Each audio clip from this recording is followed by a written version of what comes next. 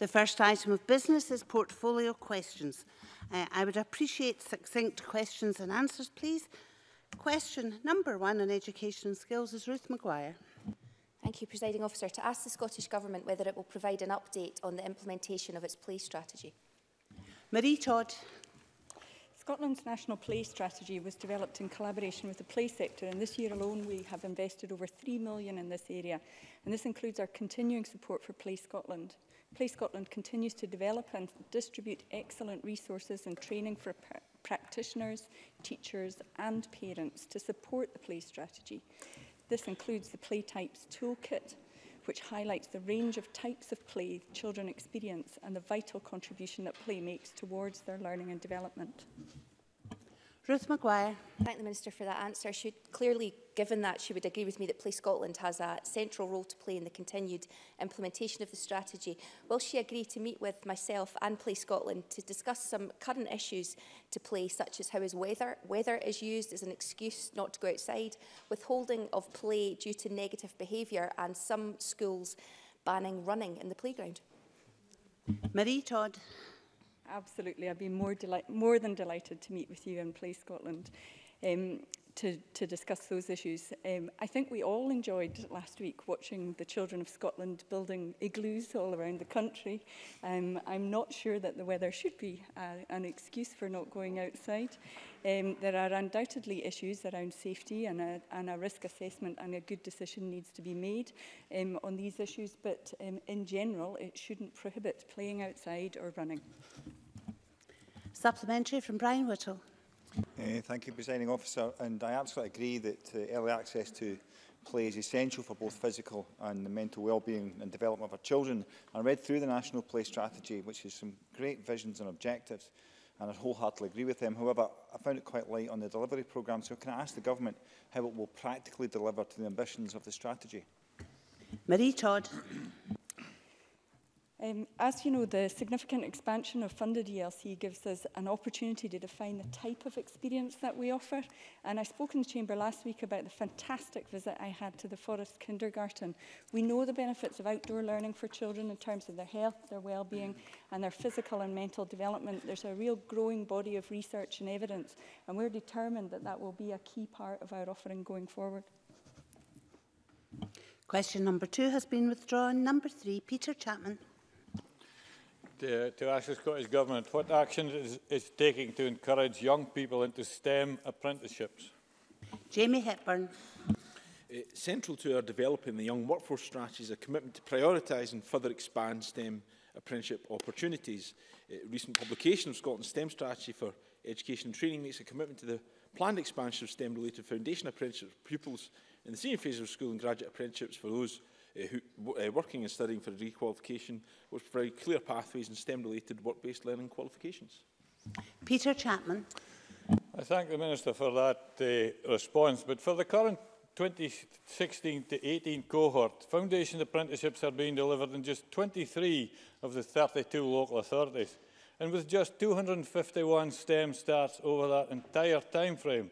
And with this being National Apprenticeship Week, Can the Minister eh, outline what he is doing to ensure all school-aged students will have access to studying STEM foundation apprenticeships if they want to? Jamie Hepburn. It, well, as the member will uh, appreciate, foundation apprenticeships are a, a relatively new uh, creation. We have been uh, road testing and uh, rolling them out uh, further still. So we've uh, gone from a position of uh, when 2014 we had two Pathfinder uh, frameworks being delivered in two local authorities to uh, this year in 2018 will, will be providing opportunity to over uh, 2,000 uh, young people across Scotland have the opportunity to take part in a foundation apprenticeship delivered in all 32 local authority areas. So he can be uh, assured that uh, we take uh, the rollout, development, expansion foundation apprenticeships very seriously. We've made a commitment uh, that there'll be uh, 5,000 such uh, opportunities uh, from uh, 2019 onwards. So we are continuing to grow that offer and I can assure uh, the member that STEM is a critically important part of that offering. Supplementary from Mary Fee. Thank you. Cutting over 800 STEM, te STEM teachers will not help promote opportunities in STEM to young people, especially those from the most disadvantaged backgrounds. What specific action is the Scottish Government taking to support children and young people from our most deprived communities to enter STEM apprenticeships? Jamie Hepburn. Uh, well, of course, I've just made the point that we are uh, rolling out Eh, foundation apprenticeships eh, more widely, so their wider availability it will ensure that more young people eh, have that opportunity to, to take part, specifically for ensuring that we have greater diversity of those taking part in, in STEM careers and STEM apprenticeships.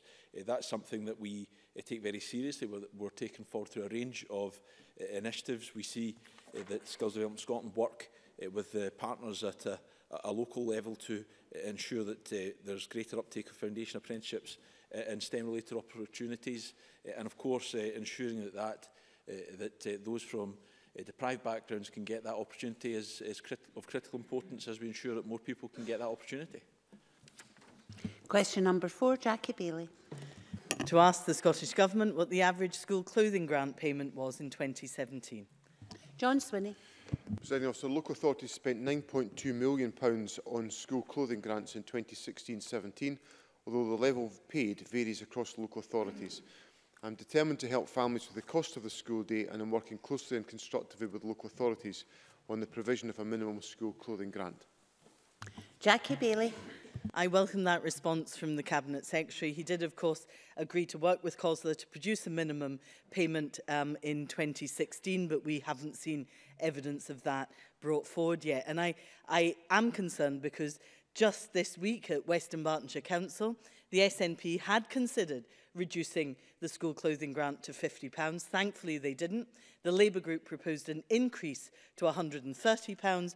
And of course, the Cabinet Secretary will be aware that the Poverty Truth Commission say that the true cost of kitting out a child for school is indeed that £130. I wonder whether he would consider that as the appropriate minimum figure for all local authorities in Scotland. John Swinney obviously there have been discussions within local authorities about the uh, level of the school clothing grant. Um, Jackie Bailey cites the um, proposals that were considered in Western Bartonshire. Uh, I noticed that in the city of Glasgow, which is um, obviously a very large local authority, uh, controlled for the first time ever by the Scottish National Party, that the school clothing grant increased from £52 to £70, which is very welcome. And after all these years when the Labour Party could have done something about this issue. So uh, very welcome progress been made by uh, the administration in Glasgow City Council.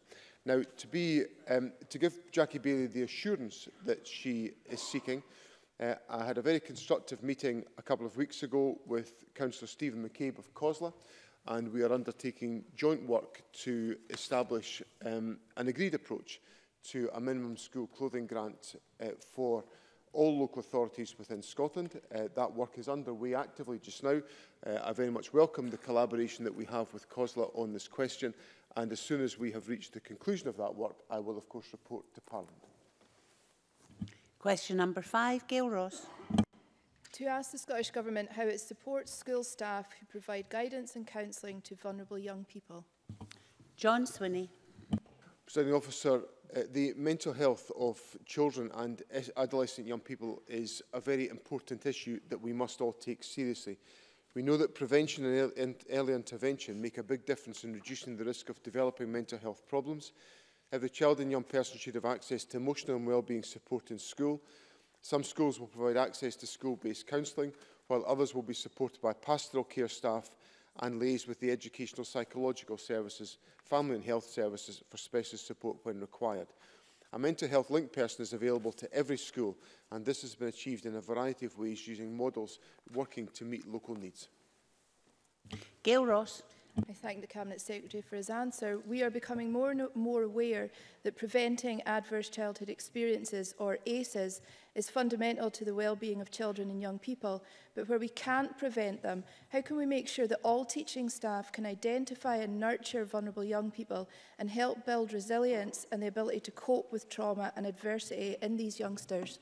John Swinney there are two points I would make here, uh, Presiding Officer, in relation to the questions raised by Gail Ross. The first is in relation to the application of professional practice in relation to adverse childhood experiences and the wider application right across our public services.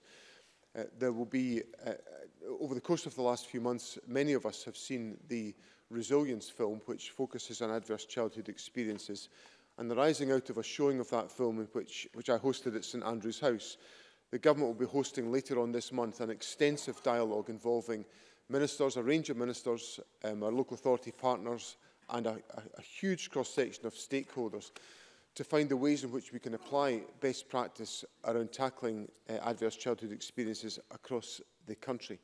The second point I would make is very practically about the education system, whereby Education Scotland has developed two national professional learning resources, nurturing approaches in the primary school, and a whole school nurturing approach um, encourage the focus on creating an environment that is anchored around the principle of nurture and that that creates a supportive atmosphere and environment for children and young people to ensure that we can take all the steps we can possibly take to intervene at the earliest possible opportunity to avoid any mental health difficulties arising for young people.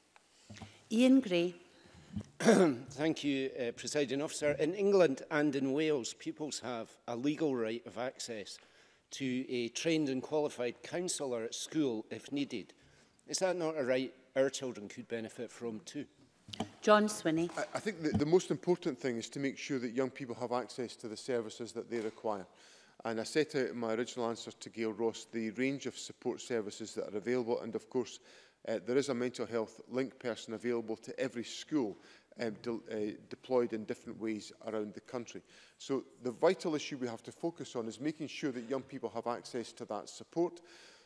to have the ability to intervene as early as possible, and of course, early intervention can avoid the escalation of some of these issues and as a consequence deliver a much more sustainable solution for young people around the country. And that's exactly what the government will focus on doing to make sure we meet the mental health needs of all young people in Scotland. Question number six, Liam MacArthur. Uh, thank you, Deputy President. Officer, to ask the Scottish Government what it sees as the key roles of uh, student associations in representing the interests of students at colleges and universities. Shirley Ann Somerville. Student associations play a vital role in the learning and lives of college and university students, and it is important that students be given the opportunity to express their views on issues of concern to them. Recognising this, the Higher Education Governance Scotland Act 2016 sets out that membership of the governing body within a higher education institution must include two student members nominated by a students' association of that institution. Students also have representation on boards in the college sector, with the Post-16 Education Scotland Act 2013 increasing the minimum number of student members on college boards to two. The Scottish Funding Council currently fund NUS Scotland to support colleges and their students' associations to deliver on the key aims and objectives set out in the framework for the development of strong and effective college student associations in Scotland.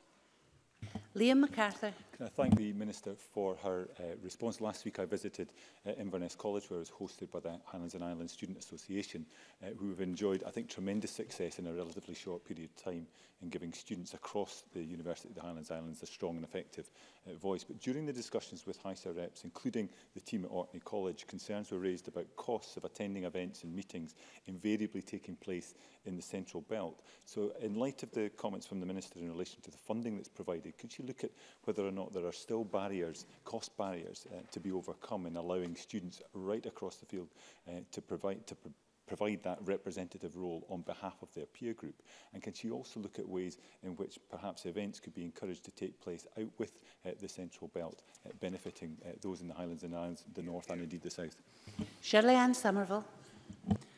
I'm, I'm unsure um, to, uh, to the, the detail of what events are, are being um, um, highlighted by um, Liam MacArthur, whether they're Scottish Government Funding Council or NUS events, but I'm happy to take on board, certainly from a Government and Funding Council um, direction, that we need to, to look at that when, when um, we are um, collaborating with, with students from and across the country and indeed using digital technology where, where that's um, appropriate. So I would certainly um, take that on board and, and encourage others um, to do so. It is very, very um, important that um, um, students from UHI can collaborate and share their experiences. Um, I've had uh, now quite a, a few dealings with um, the students at different UHI campuses and see how well that they work together But undoubtedly the challenges that they also face given the unique nature of, of UHI. So um, hopefully Mr MacArthur can be assured that the Scottish Funding Council is um, receiving feedback from associations. Indeed, they received that last year about the positive impact that college students associations are, are making. And we have an ongoing commitment to ensure that we share best practice as that goes along. And if that's not happening, then the Funding Council will work with the college and the students to ensure that's happening. But if there's specific specifics um, that uh, the member would like me to look into further, I'd be happy to do that. Question number seven, John McAlpin. Thank you. To ask the Scottish Government what evaluation is carried out of how Scottish Studies strand of the curriculum is operating. John Swinney. President Officer, while there has been no formal evaluation of the Scottish Studies strand of the curriculum as a whole, Education Scotland's evaluation, evaluation report on literacy in the curriculum, published in 2015, found that teachers were increasingly using Scots and Scottish text to develop children's literacy skills. This was followed by Education Scotland's report into Scots in the curriculum, published in August 2017, that confirmed the educational benefit of learning Scots. The Scottish Studies Awards were introduced in 2013-14 there has been an increase in the uptake of them across all SCQF levels, rising from 165 awards in 2014 to 1,383 in 2017. John McAlpine. I thank the Cabinet Secretary for that answer. In 2011, the Government set up an independent working group, including highly respected cultural leaders such as Phil Cunningham, Liz Lockhead and the late Gavin Wallace to advise on how best to implement its manifesto commitment to roll out Scottish studies in a meaningful way across the curriculum. That review group made a number of specific recommendations, including on continuing professional development, signposting and generally supporting a positive environment for schools engaging in learning about Scotland. Can the government tell us which of the working group's recommendations have yet to be implemented and whether implementation is consistent across schools and local authorities? John Swinney. Uh, I, I'll have to write to Ms McAlpine about the, the detail of uh, uh, implementation of the individual recommendations. What I would say at the outset is that, of course, there will be um, a variety of different approaches taken to the application of uh, this aspect of the curriculum within different schools, as should be the case, because Curriculum for Excellence uh, relies upon the, um, the judgment of individual teachers to deploy the curriculum in the most effective way to meet the needs of young people. Um, the recommendations from the Scottish Studies Working Group um, have been embedded across the curriculum. I can give that assurance and uh, schools will be able to develop their practice to uh, reflect uh, the steps that have been taken. Education Scotland and the Qualifications Authority provide materials and resources to support schools and teachers to include Scottish studies in the curriculum and to actively pr promote Studying Scotland and the Scottish Studies Award to teachers and to schools to ensure that the increase in uptake that I talked about in my first answer is something that's capable of being delivered by the education system. Supplementary, Liz Smith. Uh, thank you, uh, Cabinet Secretary. On the same Scottish theme, could I ask you how many pupils across Scotland are taking up the Scottish Baccalaureate qualification? John Spinney. I, I, I don't have that uh, number to hand, but I'm certainly happy to, to write to Liz Smith on that question. Um, what, what I can say is that, of course, we have a broad range of qualification opportunities avail available for young people, a broadening range of those qualifications. And indeed, uh, my attendance just a couple of weeks ago at the Scottish Credit and Qualifications Framework uh, conference, I was enormously heartened by the strength of that framework and the breadth of the curricular and qualification opportunities that are available for young people to recognise all aspects of their learning and to use that as a foundation for future success.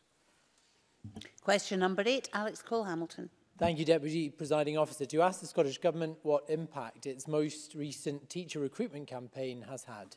John Swinney. Officer, the Scottish Government's Teaching Makes People campaign was launched in February 2017 and has led to almost 3,500 people attending Teaching Makes People events and over 42,000 visits to the website. Campaign tracking showed a 21% increase in those considering applying for a postgraduate diploma in education, and that 40% of people who'd seen the campaign took actions such as seeking advice on a career in teaching. A further phase of campaign activity was completed at the end of February and is currently being evaluated.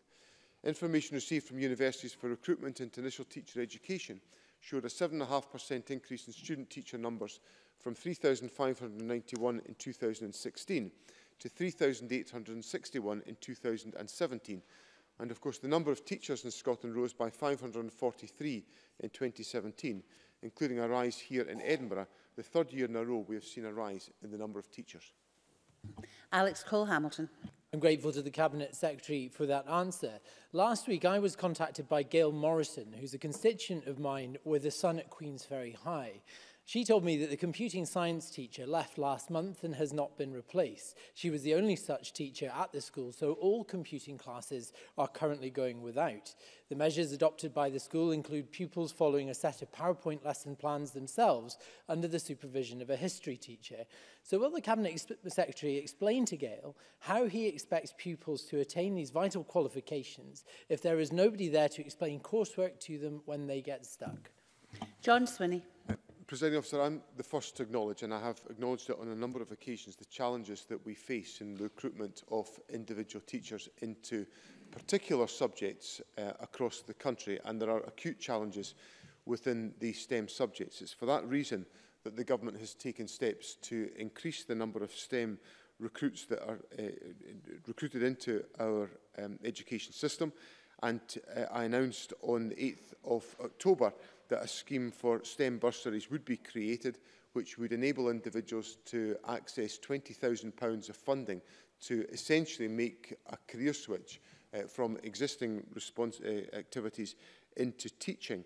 Uh, I'm pleased to uh, tell Parliament today that applications for the STEM bursary will be available uh, to be completed on the 3rd of April and that will be available to individuals to fill some of the vacancies that Mr Cole Hamilton raised in his question. Supplementary to Finlay Carson. Thank you. Since uh, 2010, Dumfries and Galloway has seen a 16% decline in STEM teachers in secondary schools. With the newly created fast-track teacher route focusing on other rural areas, can the Cabinet Secretary say what action has been taken to address the specific STEM recruitment issues facing Dumfries and Galloway? John Swinney. Well, there are, of course, a number of steps that have been taken. There's the STEM bursaries that I've just referred to, presiding officer, which are there to open up the opportunities for individuals to come to enter the teaching profession. Uh, we have, of course, expanded the available places for individuals to gain access to initial teacher education. Uh, there were over 4,000 places available for uh, this current academic year. And as a consequence of the new routes into teaching that uh, the government has established, over 250 teachers have been recruited into initial teacher or candidates have been recruited into initial teacher education that would not have been able to gain access had it not been for the steps that we had taken. Now, Mr Carson is correct that the government is opening up uh, opportunities for particular rural areas in the partnership between the University of the Highlands and Islands and the University of Dundee to try to take forward steps to attract more STEM teachers and that will assist the general um, flow of teachers into the teaching profession as a consequence of the steps that the government is taking. Question number nine, Stuart McMillan. To ask the Scottish Government what support it is giving to registered childminders. Marie Todd. Presiding officer, we recognise the valuable contribution that chi childminders can and do make to delivering high quality early learning and childcare for many families. We want to see more childminders involved in delivering funded early learning and childcare. The introduction of our provider neutral funding follows the child approach will support childminders across Scotland who wish to do so to offer the funded entitlement to families. We provide grant funding to the Scottish Childminding Association to enable them to support and actively promote childminding services. This grant funding enables provision of induction, training, access to legal advice, business support, advertising and an advice helpline for its members. We recently also funded the Care Inspectorate to develop Your Childminding Journey, a learning and development resource. This resource has been warmly welcomed by childminders and provides support for new childminders as well as personal development material for existing childminders. Stuart McMillan. I thank the Minister for that reply and the Inverclyde has 54 registered childminders working with 411 children and supporting 310 families. Clearly childminding plays a crucial role in my constituency but how does the Scottish Government consider childminding playing a role in delivering the 11,040 free hours policy when sometimes local training will regularly take place after nurseries close for the day whilst childminders will regularly work until after 6pm. Therefore, they are prevented from attending. Marie Todd. We expect childminders to play a full role in the expanded early learning childcare sector. We work closely with the Scottish Childminding Association in developing our quality action plan for the ALC sector. And one of the actions included in that plan was to make available to all ELC practitioners, including childminders, a national online programme of continuing professional learning that can be undertaken at a time that's convenient to them. In September 2017, the Care Inspectorate published My Childminding Journey, which is a learning resource specifically for childminders, which helps to guide them through their induction and professional learning once in practice. Again, this can be accessed at their convenience. The SAMA regularly run courses on weekends, specifically to ensure attendance for those who work out with regular hours. Supplementary to Michelle Ballantyne. Thank you. Um, thank you for those responses. However, the Scottish Government has said it will go to greater efforts to involve childminders in the expansion to 1140 hours. However, as recently as November, The Scottish Childminding Association have said that only 100 out of the 6,000 childminders in Scotland are actually commissioned by local authorities to deliver funded childcare.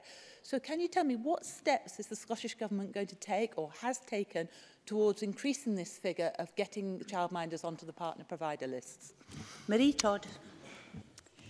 Through our review of the local authority ELC expansion plans and in response to the latest figures produced by the Scottish Childminding Association on the current use of childminders in providing funded ELC, we have committed to working with local authorities, SCMA e and individual childminders to identify any barriers to commissioning childminding services.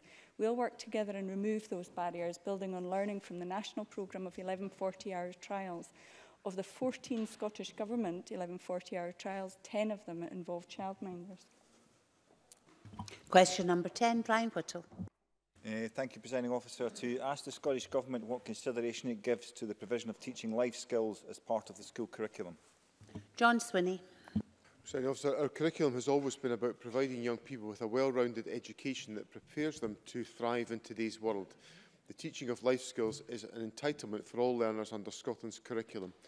Curriculum for Excellence is explicit in stating that all learners must have opportunities to develop skills for life, skills for learning and skills for work with a continuous focus on literacy, numeracy and health and well-being.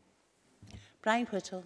Uh, can I thank the Cabinet Secretary for that answer? And I wonder if he would agree with me that, that, that uh, skills like learning to swim or, or learning to cook a healthy meal or even access to uh, good physical education are all extremely important in ensuring our children develop into healthy, active adults, attaining all they can, uh, and, and that school is the obvious place to deliver on these crucial skills.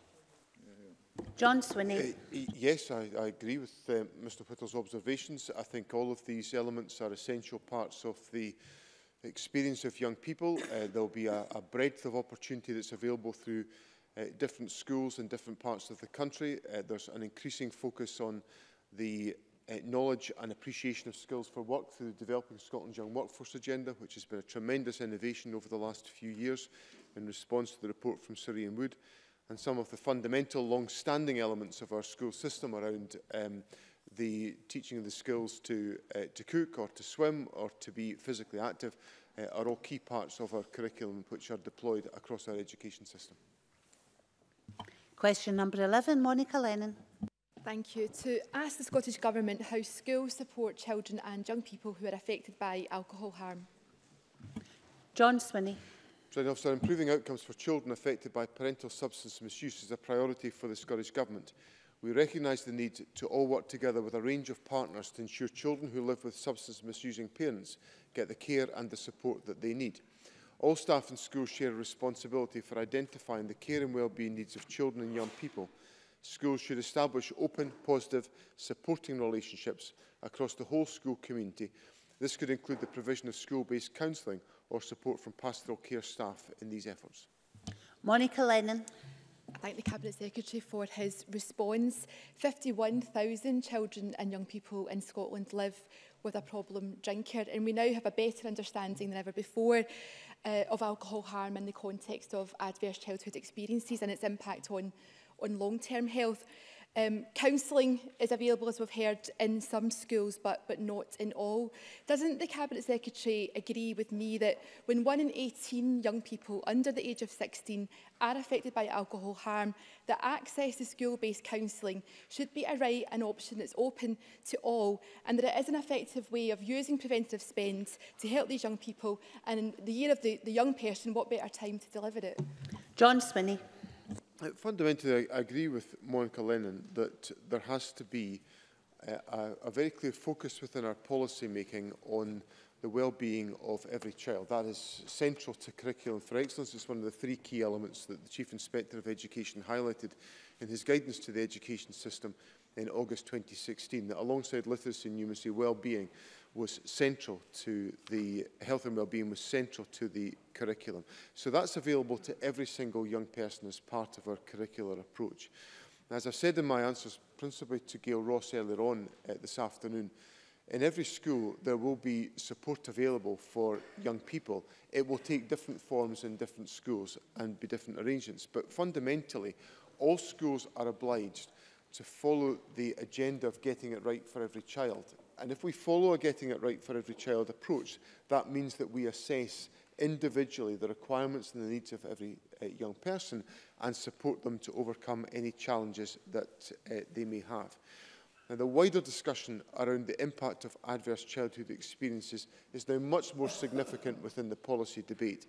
And I'm very optimistic that the steps that we're taking with the discussion that I, that I set out earlier on in my answer to Gail Ross It will have a constructive effect on focusing public services across the board on making sure that young people are able to attract the support that they require. Question number 12 has been withdrawn. So question 13, Ian Gray. to ask the Scottish Government whether it will comment on trends in spending on schools since 2010-11. John Swinney. President, funding to local authorities who are responsible for the delivery of education has been fair and is increasing despite continued UK government cuts to Scotland's budget. The total spending on education by local authorities has increased from 4.9 billion in 2010-11 to 5.1 billion in 2016-17. This is a 4.5% increase in cash terms. Through this, government's local, this year's local government settlement, we're providing £112 million next year specifically to fund councils to maintain teacher numbers, including funding for the recent Teacher Pay Award.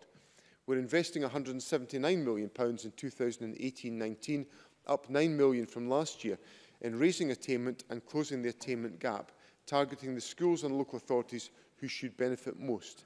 This funding contributes to our commitment to provide an extra £750 million for education through the Scottish Attainment Fund during the course of this Parliament.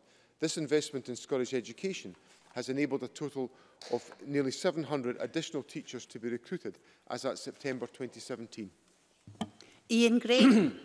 the Improvement Service's latest local benchmarking report has very detailed figures on spending uh, on education across Scotland uh, and paints a rather different picture from the Cabinet Secretary's.